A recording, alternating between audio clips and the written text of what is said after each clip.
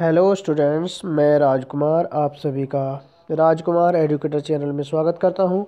आज मैं class tenth के बच्चों के लिए हिस्ट्री में चैप्टर नंबर वन के कुछ महत्वपूर्ण क्वेश्चन को डिस्कस करूँगा। प्रश्न नंबर एक है, नेपोलियन संहिता से क्या आशय है? इसका सही आंसर है, नेपोलियन ने फ्रांस में लोकतंत्र को नष्ट कर दिया। इसने प्रशासनिक क्षेत्र में क्रांतिकारी सिद्धांतों का समावेश किया, जिससे पूरी व्यवस्था कुशल बन सके।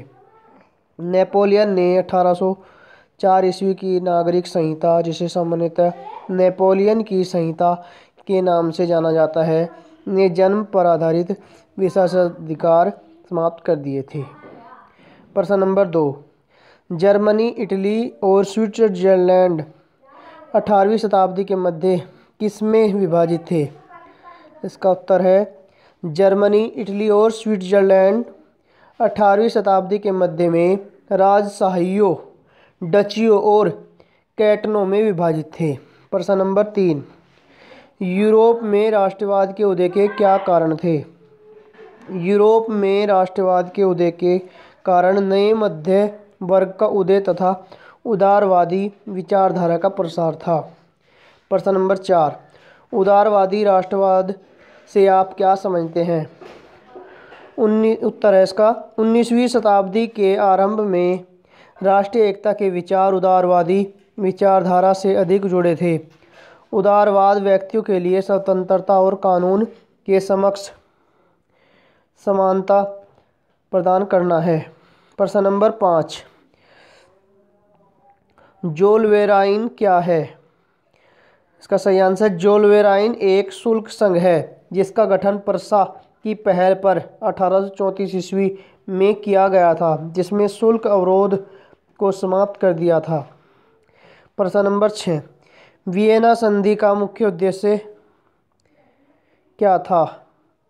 वियना संधि का मुख्य उद्देश्य नेपोलियन द्वारा परास्त हुए राजशाहों को बहाल करना था, तथा यूरोप में एक नई रूढ़िवादी व्यवस्था स्थापित करना था। प्रश्न नंबर सात। ग्रीस को एक स्वतंत्र राष्ट्र के रूप में कब मान्यता मिली? उत्तर। ग्रीस में स्वतंत्रता के लिए संघर्ष 1821 में हुआ तथा अठारह सौ बयासी ईस्वी को कुस्तून तूनिया की संधि ने एक स्वतंत्र राष्ट्र के रूप में ग्रीस को मान्यता दी। प्रश्न नंबर आठ। अठारह इकहत्तर ईस्वी में जर्मनी का सम्राट किसे घोषित किया गया? अठारह इकहत्तर ईस्वी में प्रसा के शासक विलियम प्रथम को जर्मनी का सम्राट घोषित किया गया। प्रश्न नंबर नौ। अठारह बत्तीस ईस्वी की संधि का नाम बताइए, जिसने यूनान को एक स्वतंत्र राष्ट्र की मान्यता दी। इसका उत्तर है, अठारह बत्तीस ईस्वी की कुस्तून तूनिया की संधि ने यूनान को एक राष्ट्र, स्वतंत्र राष्ट्र की मान्यता दी।